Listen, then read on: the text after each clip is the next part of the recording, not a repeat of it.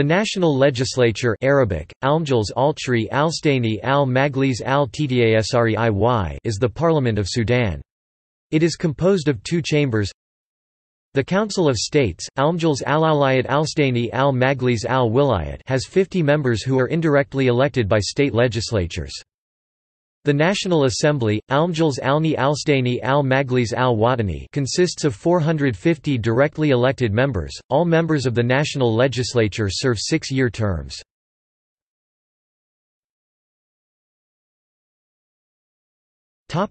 See also Politics of Sudan List of legislatures by country